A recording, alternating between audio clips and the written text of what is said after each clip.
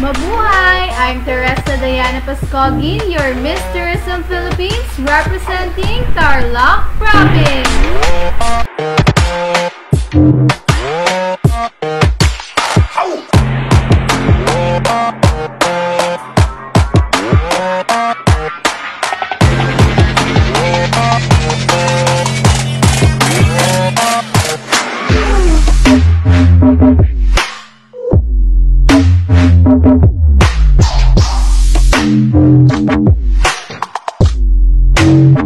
you.